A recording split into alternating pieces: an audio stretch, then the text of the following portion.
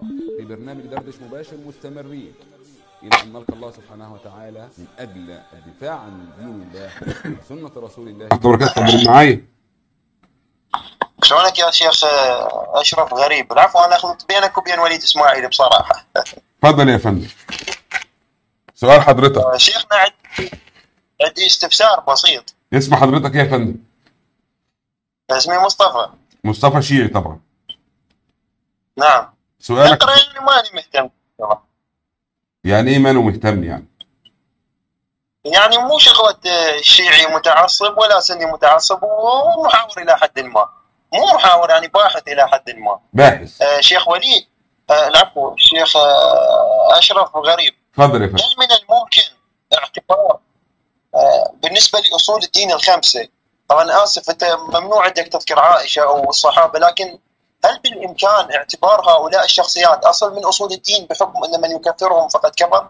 والله أستاذنا الفاضل الأصل يعود إلى القرآن وليس إلى الشخصيات.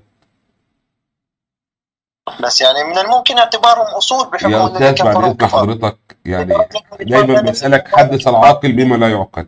حضرتك كشيعي اثنا عشري عندك الأمر بالمعروف أصل من أصول الدين؟ هتقولي لا.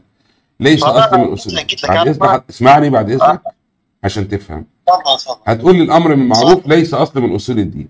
ولكن القرآن الكريم نادى بالأمر بالمعروف والنهي عن المنكر. اذا هذا يعتبر أصل. حكم منكر هذا الأصل إيه؟ شلون؟ حكم منكر هذا الحكم القرآني. يعني من أنكر حكم قرآني حكمه إيه عندك؟ هتقول لي هذا الشخص خرج عن الإسلام. لأنه أنكر ما أمر به الله سبحانه وتعالى في القرآن. فإذا حضرتك لما نيجي نتكلم عن الشخصيات هذه الشخصيات القرآن عظمها وبجلها. فمن طعن فيهم فهو طاعن في القرآن. لأنه طاعن في أصل القرآن. بس. في سؤال آخر؟ شيخنا أنا بصراحة شوف سالفة أصول الدين بكلها يعني إنه أكو خمس أصول بصراحة يعني ما داخلة بعقلي. لمن؟ ده عند الشيعة أستاذنا الفاضل. ده عند الشيعة مش عند السنة. لا أنا بكل الأحوال. أنا قلت لك أنا بالنص فاهم طيب. فأنا حتى عند الأصول خمسة عند الشيعة فقط أستاذ الفاضل. يا أستاذ عم أهل السنة فعندهم أصول الدين. كل ما جاء به حلال أو حرام في قرآن أو في سنة فهو أصل عندنا أصل من الدين.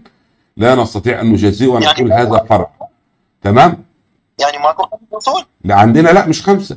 مين قال لك إن عندنا خمسة؟ قدرتكم إحنا عند... تاني؟ تاني أجاوبك تاني. كل ما قال به القرآن من نهي وأوامر تمام؟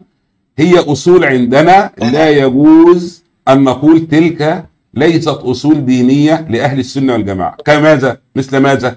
مثل الأمر بالمعروف والنهي عن المنكر. مثل ماذا الصدقة؟ مثل ماذا آه الإحسان؟ هذه كلها أصل من أصول دين. واحد يقول لك إيه الصدقة أصل من أصول الدين نعم أصل نادى به القرآن.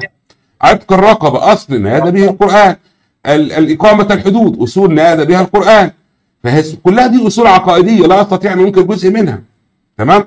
في فرق ما بين أركان الدين بقى وأركان الإيمان. أركان الدين شهادة أن لا إله إلا الله وأن محمد رسول الله اللي هي أركان الإسلام. آه، إقام الصلاة إيتاء الزكاة صوم رمضان حج البيت لمن استطاع إليه سبيل اسمها أركان الإسلام. في أركان الإيمان أيضا. الإيمان بالله والملائكة والكتب والرسل والقضاء والقدر خيره وشره. دي اسمها أركان آه، الإيمان.